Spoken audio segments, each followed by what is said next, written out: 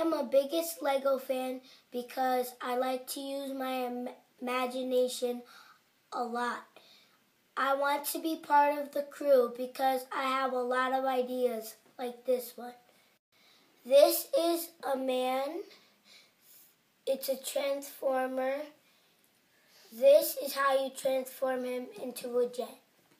You put his eye up like that, like that, and then you put